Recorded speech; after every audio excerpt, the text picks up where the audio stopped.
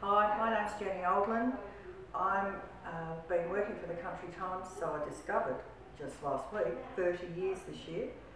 And I'm unique in that I'm based at Yorketown full time and I only come up to Kadina occasionally. I joined the staff with no experience in newspapers at all, except I like to read them. Um, uh, they advertised for a correspondent. I replied, I've done some freelance stuff. One of the first questions they asked me was, Can you take photographs? I said, I don't tend to cut people's heads off, and they hired me. How simple was that?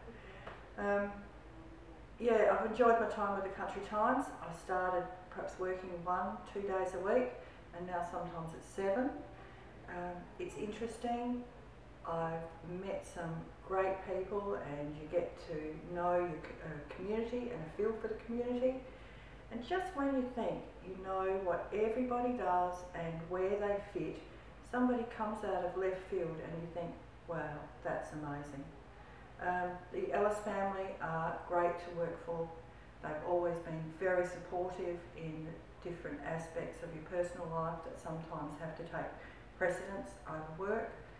Um, the staff are great, always have been, as have the successive editors, including Doris Boyd, Rosemary Cock, um, Nick now, um, Amy Brokenshire, who guided me along the way and often put me back on the straight and narrow.